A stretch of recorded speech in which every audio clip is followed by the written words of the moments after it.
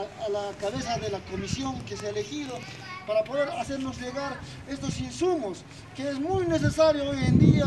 Vemos cómo estamos combatiendo algunas familias, vemos que no contamos con algunos medicamentos, pero, pero como menciona el, presidente de la comisión, de que esta es una sola primera parte, que habrá una segunda, una tercera. De esa manera, mm, le felicito a toda, a toda la comisión y a todos los que han hecho el depósito correspondiente para poder hacer posible todos los insumos que tenemos en estos momentos. Muchas gracias.